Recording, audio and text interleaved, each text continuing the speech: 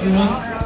Hello, what's up? My name is Brandon Chrostowski, running for mayor of City of Cleveland. Uh, some of you may not know the name, you, you may have, uh, some of you may have, uh, but a lot of you have heard of Edwin, Leadership and Restaurant Institute. Hey, Carol, say hello.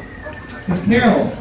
Miss Carol, everyone thank Miss Carol and Wanda for helping prepare the food.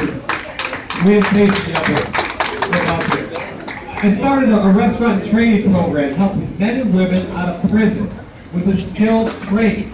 And I did this for one reason, one reason only, because I believe that regardless of your past, you should have the right to a fair and equal future. And it says that nowhere in the Constitution, or nowhere, but in terms of people, that's what it should say. So I've been working hard for now a decade, helping men and women get a second chance.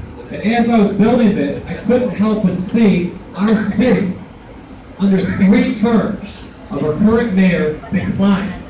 We've had a double-digit increase in poverty, an exploding murder rate. We've had a deplorable lead crisis, failing schools.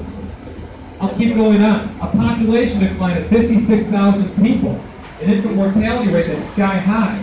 This mayor is out of touch, and I say he should be out of touch because new leadership is necessary right now in order to change the round. We're facing three emergencies, a safety emergency in our police force. Our leadership for the last 12 years has been the same, not just with the mayor, but with our safety directors, which need to go.